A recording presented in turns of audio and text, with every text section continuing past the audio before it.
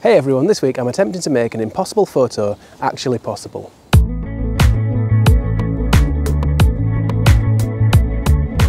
So this week I've come to Conisbrough Viaduct and I've been here plenty of times before in the past and I've attempted to get shots of the viaduct here. It's a fantastic structure but it's been really difficult to get that perfect shot because I've not been able to get far enough away or get the right angle or the right lens and basically I just gave up thinking it was impossible. But that was all before I got my drone.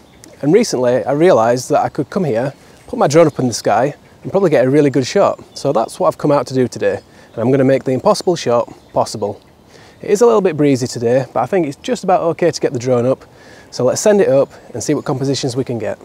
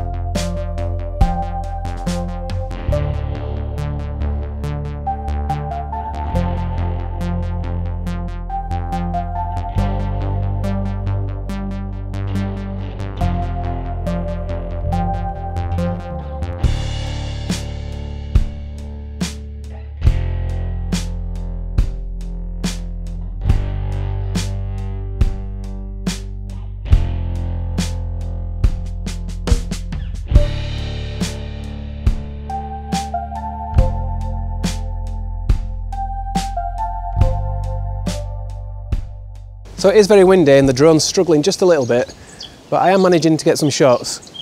I want to get some shots looking that way into the sun as the sun goes down, we're at sunset time. But there's also a nice rainbow forming over there, so I might get some from that direction looking that way as well.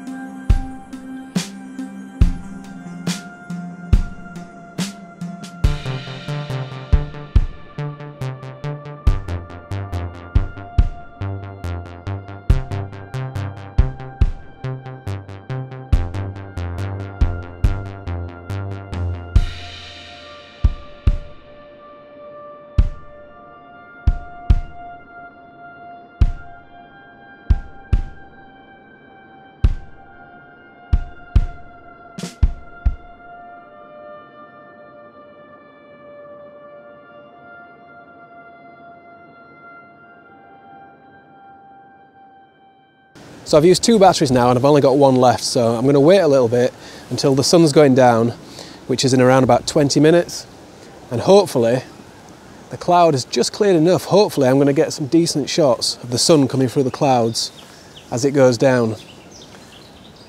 So fingers crossed.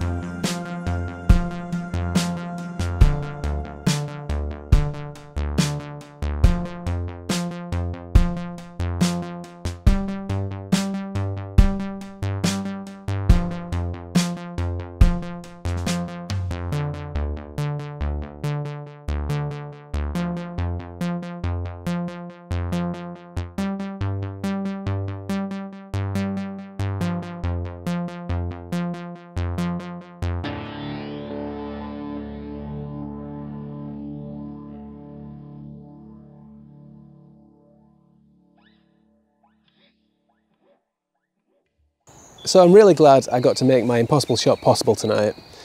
It's amazing what drones can do. The technology has come so far just in a short space of time, maybe five or 10 years.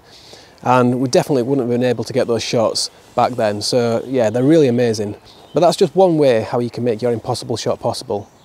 I've got a photo at home of Ansel Adams. It's quite a famous shot. And he stood on top of his car with his tripod mounted on there, taking a photo. And I'm pretty sure that he wouldn't have been able to get that shot unless he was stood so high on top of his car. So if you've got an impossible shot, think about how you can get around that problem. Think outside the box, get higher, get a different angle, use a different lens, or if you've got a drone, put that up and get a shot with that because they're amazing.